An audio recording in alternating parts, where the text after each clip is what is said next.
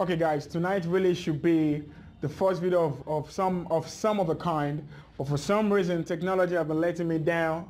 But I'm not gonna allow that to stop me. Because somebody said to me one time, he said, the cave that I fear to enter have the the treasure that I actually want. Okay.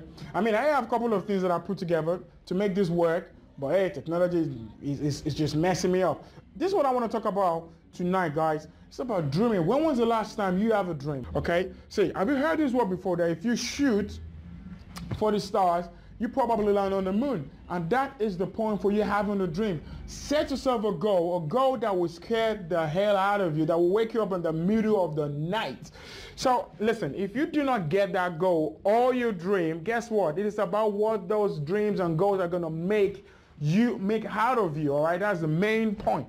So guys, I will find a way to make that video at the end of the day, okay? So you just search for me on my Facebook, my Twitter, or my Instagram, even Snapchat. Look for Coach AOG and you will find some wonderful content, okay? So